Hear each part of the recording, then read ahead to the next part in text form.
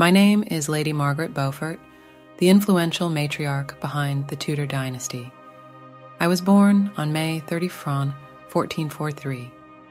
My father was John Beaufort, 1st Duke of Somerset, and my mother was Margaret Beauchamp of Bletsoe. She was a descendant of John of Gaunt, a son of King Edward III, through the illegitimated Beaufort line.